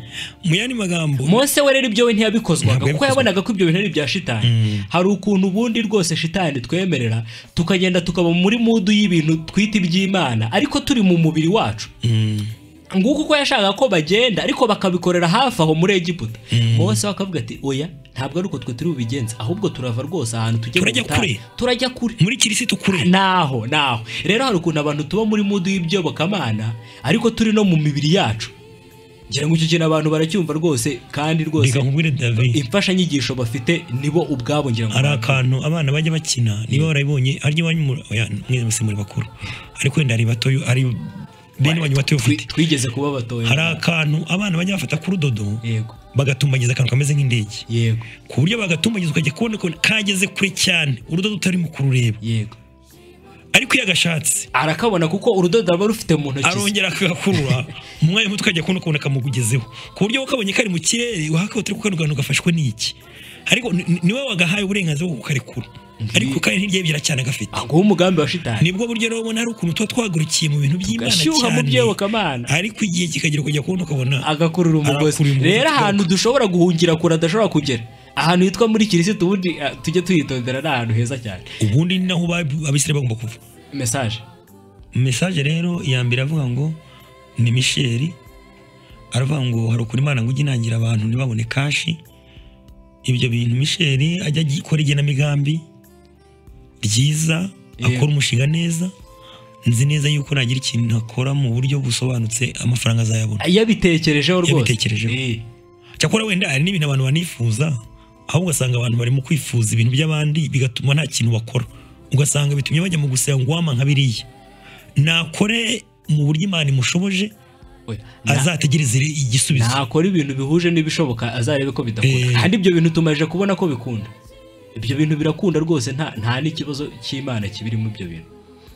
Na apolineri sinasobanukiwe neza ku kimenyetso cy'ibibuku iki kintu ugira ngo abantu abantu ba- bakibajeho ari benshi. Ese mwize teoloji cyangwa ni umwuka wera ubasobanurira gusa? Alexi wabwira abantu ibyo wize? Ubundi mu kuri nta mu byo kwiga mu buryo busanzwe. Eh, nicyabaza niba twarize teoloji uya teoloji ntabwo twayize kandi hirya y'ibyo ni na cyo kibazo abantu banagira. Eh. buriya hari n'ikintu agiye kukubaza. Arakubaza ati ese musengerahe Eh, na cyo ni ikindi kibazo mubarizwa hehe ibyo bintu rero byose nta na kimwe kiri cyo. Alex ntabwo yize teoloji nanjye rwose siyo nize ndetse n'ubu ni umunyeshuri ariko si ibyo niga niga ibintu bisanzwe byo mu ishuri bisanzwe. Alex ndumva nawe. Ahubwo tunamubwire yuko ibiriya n'isumbwa dushyizeho nta n'ikintu turi cyo. Eh, ahubwo nawe nace bugufi yisomere bibiliya umwuka w'imana amwereka n'ibindi bintu birenze n'ibyo twanavuze. Ngibyo uko biteye ikindi kibazo amahoro mbese ntimubona ko abakonikoni ari igishushanyo? Ndasubirwaho ndasubiraho cy'abanyamadini n'uburyo bumva kandi bakumvikanisha iby'icyaha. Icyo kintu rwose ni cyo icyo kintu ni cyo ndumva tutagitindaho. Eh, ikibazo cya Michel Muhanga ngira ngo twari tumaze kukivugaho ko hari abantu bigisha rwose ko kunangirwa ari uburyo Imana ifunga imiyoboro yanditse ngo Imana igafunga imiyoboro kugira ngo abantu batabona kashi cyangwa se amafaranga. Ibyo bintu sinzi ahantu rwose bihuriye. Ndumva nta hantu bihuriye. Icyo kibazo tubaje wenda. Hari abantu babyigisha ko bakavuga ati Imana yanangiye imifuka wenda musenge ufite imikoshi. Ibikoshi buryo cyangwa inyatsi. Umudayimoni w'inyatsi. Kasiyani azabatumira ubisengera kugira ngo mideli Kasiyani ni ukubashangira. nawe ntajya abyemera kasiyani arabyiruka ahubwo arimo arakorera amafaranga kandi ntekereza ko yabona. Eh, nguko. Mwiriwe. Ni koko twa- twabatuwe na yesu. Ariko se bite n'ibyaha mbona nkora buri munsi? Ese imana izabi- izabitorera? Ikindi ni ibibazo cy'amatsiko. Ni kuki imana yafashe misiri? N'ibyaho byose ikaba ari byo ifataho urugero rwa satani n'ibye. Bakabigenderamo ese bo iyo bumva ntiba ntibibatera ipfunwe musabwa analite ese iyo bumvisha ubutumwa bwiza ntabwo bibatera ipfunwe? Icyo kibazo arimo arabaza ni ingenzi. Ngira ngo yaravuze no ku kibazo cya mbere ko rwose akibona agikora ibyaha. Ariko ikibazo ni uko yabagaruye ku mana. Arareba ibintu imana itarimo kureba. Ibyo bintu bishingiye mu buryo abayeho no muri sosiyete. Yego. Ariko ku kibazo cy'imana ikibazo cy'imana yaragikemuye kuba azanye ikibazo cy'ibyaha ni uburyo abakonikoni bamwigishije. Ni uburyo isi ni yatwigishije uburyo isi yatwigishije. Dukwiye rero kuvangura imi ariko alex sinzi niba ari byiza ko iki kibazo tugitindaho nk'ikibazo ubwacyo cyangwa niba ari icyigisho. Ku buryo dushobora kugitindaho nk'ikibazo ubwacyo ugasanga nta kintu tukivuzeho. Ariko reka ntekereze ko ko ko igihe tuzaba twiga amategeko y'imana ibibazo nka biriya tuzabivugaho mu gice cya makumyabiri n'igice cya cumi n'icyenda rwose cyo kuva. Atwihanganire kandi icyo kintu ngira ngo si na ngombwa kugira ngo gisubizwe binyuze mu ijwi ryacu. Ariko ariko nanone ntabwo Kandi tuvuge tukirengagije. turakirengagije. Kuko mu gihe tuzaba twiga amategeko y'imana ngira ngo ikibazo nka kiriya icyo kizavugwa mbivugiye buriya ashobora kuzategereza ijwi ryawe cyangwa iry'undi muntu wundi kugira ngo gisubizwe ariko ijwi ry'umwuka w'imana rirahagije. Wenda ryanyura muri twebwe ariko ntazavuge ngo buriya ngo ubu azakinsubiza igihe runaka. Yego ngicyo. Gusa kizavugwaho. Eh, ntekereza hari ko twakwakira nka telefone ebyiri hanyuma tukanagana no ku musozo. Alo? wi nagira ngo mbabwire. Yego. Uko mwemera yuko mose yabaye igishushanyo mwegiputa yego. Orara agiye atatubwiye icyo yari agiye kutubwira. Ngira ngo twakwakira telefone hanyuma hanyuma tugasoza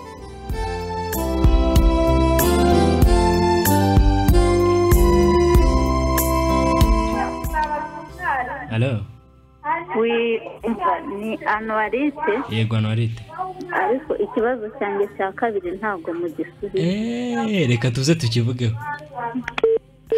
Ikibazo cye cya kabiri cyavuga ati ubundi abantu bo muri Egiputa iyo barimo barumva ubutumwa bwiza bagasoma n'ibintu byabayeho uhereye kera kose ntabwo bibatera ipfunwe. Sinzi ukuntu wakivuga. Mbo ibi byigaragara hari ukuntu rero david mugira ngo hari wenda abantu iyo batwumva hari ukuntu wagira ngo ni abantu badutse bimanuka kera abantu bajyaga bimanuka we natwe kera niko twumvaga ibintu. Ku buryo ndetse uwumva ibintu mu buryo bunyuranye n'ubwawe. Ntugomba kwirirwa umuciraho iteka kuko natwe twari nkabo siko bimeze? Yego. natwe twari nkabo ku buryo nta kintu runaka cyisumbwe twabarusha wenda ikintu twabarushije ni ukumva ngo twemeye icyo umwuka w'imana ahamya. Kandi nabo umwuka w'imana ni iki kintu abahamiriza Alex dore ikibazo yarabajije ni iki ngiki? Mm. mbese abantu bo muri Egiputa iyo bumvisha ubutumwa bwiza muri iki gihe ariko bakanumva uburyo Imana yabafashe nk'ikimenyetso cyo kwerekana gukiranirwa. Ese bumva ubutumwa bwiza neza cyangwa bumva bagize ipfunwe uramutse wumvishije ubutumwa bwiza mu mubiri buguteza ibibazo byinshi cyane. Ku buryo nabo baramutse babwumvishe nk'inyigisho z'umubiri bwabateza ikibazo cy'ipfunwe ariko iyo babwumvishe nk'ijurwa ry'imana rwose nta kibazo bibateza. Reka muhe urugero kugira ngo babyumve wenda uretse ko babaye igishushanyo cyo gukiranirwa ariko natwe natwe tutari abayisirayeli. Iyo twumvishe ubutumwa bwiza bibiri itwereka ko kera ikoresha urugero rwo kwerekana ko kera twari tumeze nk'inyamaswa zizira. Mm. mbese ko twebwe twari tumeze nk'inyamaswa zizira? Iyo twumvisha ubutumwa bwiza ku bwishurirwa rya mwuka wera bidutera ipfunwe cyangwa biratunezeza.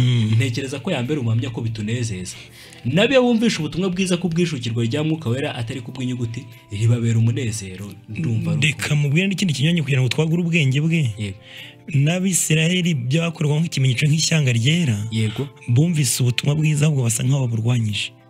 Bisa naho bibabereye inzitizi. Bisa nk'aho babenze ariko nanone iyo umuntu yumvisha ubutumwa bwiza akemera ihishurirwa rya mwuka wera ari umuyuda ntabwo bimubera inzitizi ahubwo biramushimisha. Niyo ari umunyegiputa ntabwo bimutera ipfunwe ahubwo biramushimisha. Niyo yari umunyamahanga nk'uku kwacu ntabwo bimutera ipfunwe ahubwo biramushimisha.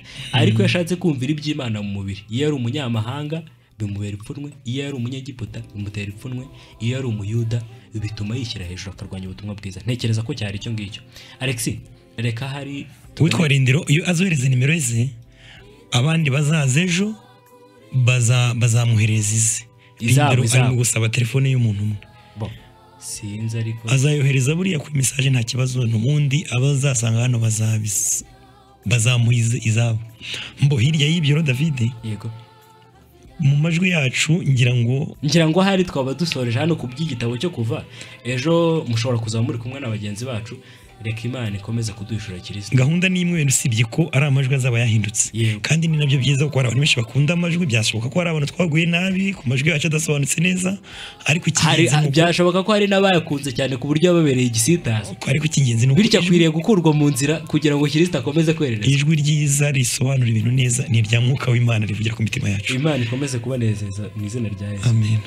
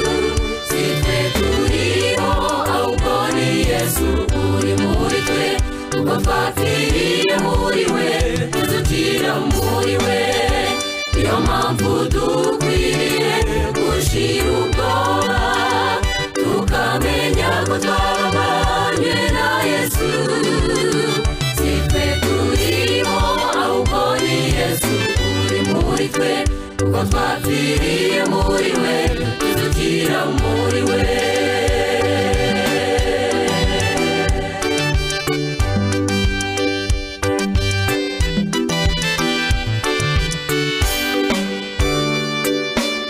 ibyo twakora byose